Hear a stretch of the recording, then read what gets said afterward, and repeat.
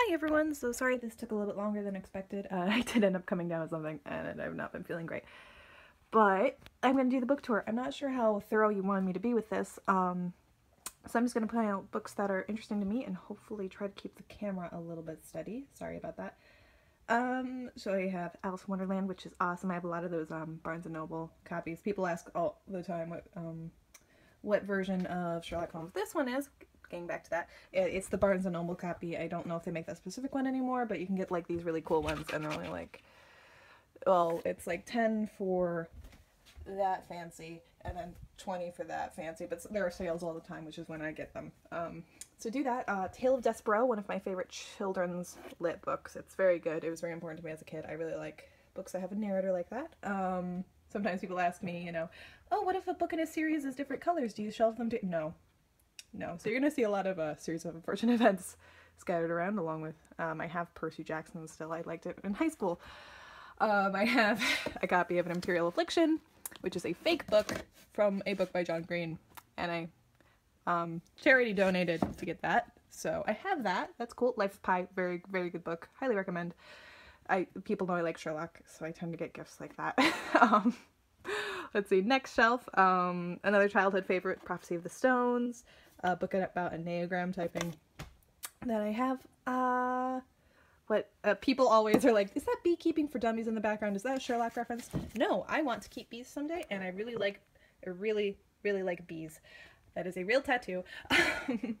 but yeah, so I have this this beekeeping section. They just all happen to be yellowish, so they all go around here. Um, Jeffrey Eugenides is good. This is the copy of um, Pride and Prejudice that was in You've Got not the exact copy, but it's the version like with this cover that was in the movie You've Got Mail, which I used to like a lot in high school. So my mom got that for me, which was very sweet of her.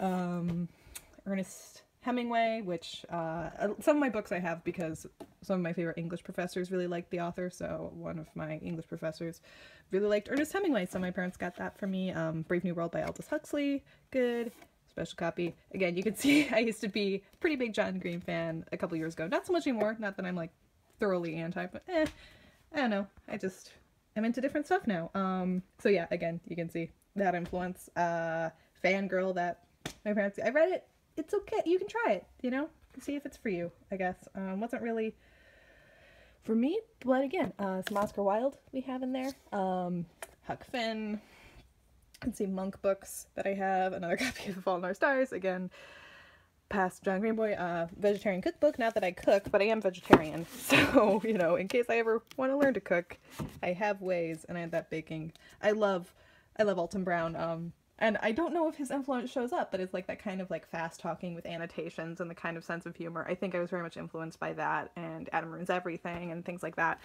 as far as tone goes. Um, but yeah, that that was a fun show. Anyway, I'm, I'm jumping all over the place. Sorry. Uh, this is a piggy bank, in case you can't tell. This has um, clothespins in it, which I usually, well, I was using to put pictures up there. Sometimes I use for making pillow fort. I just have clothespins in my room. That's what that is. Um, next shelf we have, what's fun here? Uh, oh, this Harry Potter book. What will happen in book seven? My favorite thing about this is that it had a chart of um, least likely to most likely to die. They listed Dobby as the least likely. But, oh, that's spoil. Sorry, Harry Potter spoilers. Whoops. Uh, sorry, sorry. Um, anyway, House of Sand and Fog, a book I read in um one of my favorite classes I ever took. That's a good one. We have Macbeth. We have I don't know a last series of unfortunate events. Princess Bride. You can see over there. Uh, I don't I, I I don't know. Um, this was a gift to me from uh, Stacy. That was nice of her to give to me. And we have, let's see, art book by Fay Fatalities, which is awesome. Love this art. Very good inside. Look at that. That's going to be worth a lot someday. Uh, and we have, let's see, Book Thief. A lot of YA in the black covers section, I guess. To be or not to be, this was, if you were on my Tumblr the other day. This is the book I recommended. It's like a choose your own adventure version of Hamlet. They just made one of Romeo and Juliet, which I don't have yet. But it's very good, very enjoyable some Stephenie Meyer, shush, um, some manga, which is even more embarrassing. I have all the original Yu-Gi-Oh mangas, and then Kingdom Hearts, and Spirited Away, and Ponyo. Um, you'll see some of these have library stickers. I didn't steal them. I uh, when I was working as a student in my local public library, they used to, um, you know, they would discard books, um, some that weren't circling high, so if I saw ones I liked, I would take them. Uh, you're allowed to do that. I wasn't like breaking any rules, so don't report me. sorry. Um, books about actresses I like, my Wii controllers. We have Lewis Carroll books. We have Choose Your Own Neil Patrick Harris. Uh, what knitting books? I knit, as you will see in a minute. Lots and lots of Shakespeare. Over here, C.S. Lewis, uh, Stuart Little, got some Frankenstein, got the, uh, I regret buying that because I, I didn't realize it was top lock. So, if you, if you want that sort of thing, I recommend, uh, uh, Compound a Felony over that. Uh, but that's, yeah, don't go for that one. Basically, um, yeah, so that's, that's that shelf. Those are my main books. So there's that. And then this used to be my only honor shelf. It still is kind of my main one. Um, so people ask me for books about um, literary studies. Here are some ones I have. This is the exception. This is a book that given to me by an English professor because I took um, an independent study Victorian literature course, is anyone surprised? Uh, and that was one of the poems we read was the Rubaiyat, and he gave me his fancy copy, which was very, very kind of him. Um, so yeah, we have some of these books. I recommend all of them. How to read novels like professor, how to read literature. I have two copies of this, which is why I was like, which copy? I have, I have multiple copies of that. The other one's over there, over there. We'll see it in just a minute. Um, these are cool. Uh, this is like about the making of the English language and how the dictionary was decided. That's really cool. And then dictionary of terms, um, my fancy Harry Potters, um, Sherlock books.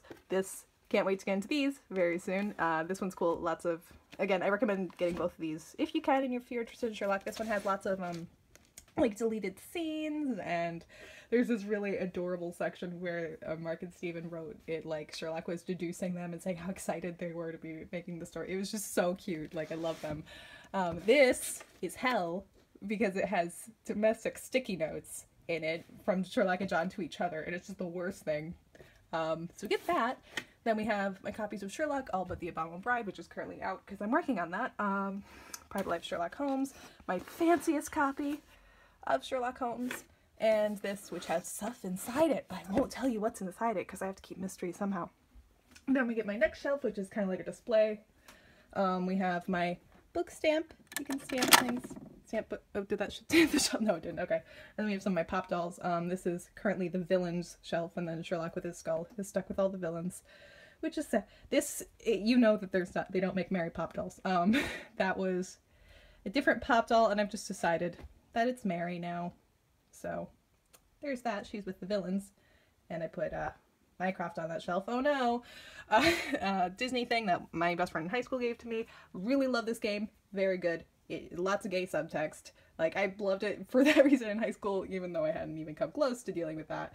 So, I, Final Fantasy 13, it's very good. I, everyone hates it, but I love it so much. Um, then we have this shelf uh, with and this was a T10. This is a Mini Cooper that's busted. I broke it. Um, all of my mini pins that I have, except for the ones I'm taking to Sherlock Seattle with me, because those are over there in my... Wait, no. Oh, I already put them in my luggage. Uh, I'm packed early. Anyway, so most of my buttons are in there, except for my most favorites. Um, this art that Lucy Cloudmelon drew for me for my birthday a couple years ago, and I just love it. Like, and he's like, little exclamation point. is the best part. I love it. Um, and the T below. She's just, she's wonderful. I love, follow Lucy Cloudmelon. Um, anyway, kissing pop dolls, sad pop doll over there. Um, these special buttons, which if you're going to Sherlock Seattle and you see me, you're going to get one of these. If you, you know, if I don't run out. I doubt I'm to run out because I ordered probably way more than I need. But these are cool. Look, get ready to, it's like actually on a button. Um, of Cowardice and Kings, Rory drew that for me, so that was Again, very nice of him. People are awesome. Um, a version of me playing the flute because I played the flute in band in high school. Okay, um, then we start getting into video games. So this is my video game display shelf. Uh, this thing holds my DS, or it doesn't because my DS is charging, which you already saw, but it's usually my DS holder. It's like a Zelda pouch. I really like Zelda, um, miniature Zelda, Zelda lots of Zelda games. This was a Zelda Biscotti thing. And then the other series I like, including Life is Strange. Very, very good. The ending is disappointing, but uh, besides that, um, Kingdom Hearts, Final Fantasy 13 is usually here, but I have it out because I was playing it, so just the Final Fantasy 13 2 is there. Um, below that, we have some of my DVDs. My DVDs, these are all the DVDs that I have, so you'll notice Lizzie Bennet Diaries over there, Avatar, I don't know what else is interesting here, Imitation Game, Pride, lots of gay stuff, words and pictures. These are not in order. They were in order, and then I just get lazy and put them on the top and I'm done. So, there's that. Um, yeah, those are DVDs. I don't know. Let me zoom in closer so you can look at them if you want to lots of lots of children's movies. You know, lots of lots of children's content. Then we have video games and guidebooks. Um, again, I do like playing video games quite a lot. I have less time for it nowadays, but these are the video games that I have. Woo. Video games. Yay. Very exciting. Um, yeah, and my little link. That was, that was fun. That was actually the first thing I bought with my first paycheck uh, when I started working, so that was pretty funny. Um, let me get up here. This is what this looks like when it's not currently being, I, also need to pick this because like these are supposed to be stacked behind you and it's just a mess. Because this, this always falls and the skull, you, this one's with the villains because it keeps breaking. Like this skull has fallen out of his hand multiple times because he keeps falling over and I hate it. Um, so that's what that looks like when I'm not using it. Um, yeah. This is, I recently remake this in, re remade, remade this into my, uh, honors lit study shelf. So we have um, either books that I personally like or by authors that I like or by um, things that I know my English professors like. It makes me happy. Um, and then we have just some gay jokes. We have cheap gay joke, probably. No. Uh, sorry, that's running joke again. Um, how to read literature like a professor. My other copy. I'm trying to remember which one is the one I write in. I don't remember right now. I'd show you. I've marked one of them all up. Um, film studies, which I did a little bit. I did very little of that in undergrad because the my schools didn't offer it, and I'm very sad about that.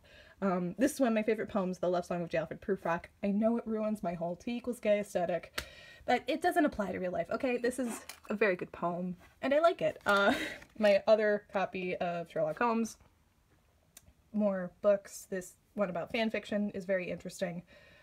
Picture of Dorian Gray, lots of, oh, happy birthday, uh, Oscar Wilde too to you today. Um, so yeah, there's that. My elephant in the room, mini elephant, Baker Street. Yeah, that's what that shelf looks like. Um, art people have drawn of me because, and I, some of them have to go over there and it makes me sad because they're all good. Billy the Skull, my friend, Billy the Skull. Um, but yeah, these are so good and it just, people are so nice. Thank you for drawing me. A couple of these are by Lucy Cloudmelon, some of them are by, um, oh, uh, Emerald Space. I don't remember, uh, I don't remember Emily's username. Maybe that one's very good. Then we have, um, yeah, just lots, lots of good art. I just love it. It's very good. Then this is just kind of like the miscellaneous shelf. I do have clutter. Um, these are, this is the camera stand. Essentially, that's my camera stand. Um, then we have this disco ball thing, some frames, this artwork that I need to hang up at some point. It's of Sherlock and John being cute in the rain. Some other art I've gotten recently that I need to hang up. Anyway, um, then we have my textbooks, including the ones I'm currently using. I go to school for library science, if you don't know that. Uh, grad school, I will be done in a few months though. And then this has current knitting projects inside of it. Uh, and then my yarn. And that is my bookshelves. So that took a while. See, I cannot make a short video for the life of me. Anyway, hope you enjoyed this tour of my bookshelf. Goodbye.